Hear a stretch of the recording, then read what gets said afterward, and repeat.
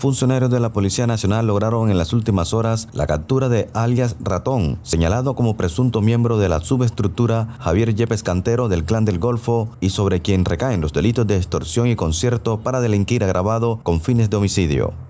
Dios y patria. La Policía Nacional en el departamento de Córdoba, en el marco del nuevo modelo de servicio de policía, orientado a las personas y a los territorios, se logró en las últimas horas la captura de alias Ratón, sicario del clan del Golfo, el cual se venía delinquiendo en la jurisdicción del municipio de San Antero, Lorica, Chimá, Chinú y Purísima. Desde la policía indicaron que este sujeto era requerido y que operaba anteriormente en Sucre, donde cometió hechos de homicidios y extorsiones durante el 2023 en los municipios de Corozal, Betulia, Cincé y Galeras, donde presuntamente actuaba como sicario a la orden del grupo delincuencial, pero con la subestructura José Manuel Gaitán a la que pertenecía en ese año.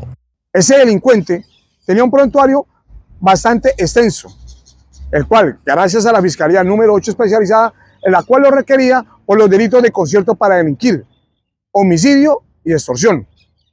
Gracias a nuestras unidades de policía Gaula, realizaron el seguimiento exhaustivo a ese delincuente, creándole una ruta de trayectoria, logrando la captura en las últimas horas de ella. De esa manera, logramos sacarlo de circulación y poner otra de las rejas.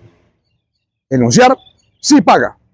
Las investigaciones dan cuenta que este sujeto estaría implicado en los homicidios selectivos presentados en los corregimientos Las Arepas de Cotorra, San Sebastián de Purísima, El Carito Lorica y el ocurrido en barrio Los Placeres de San Antero. Alias Ratón fue puesto a la orden de autoridades competentes y un juez tras analizar las pruebas del caso lo envió a prisión y desde allí deberá enfrentar a la justicia.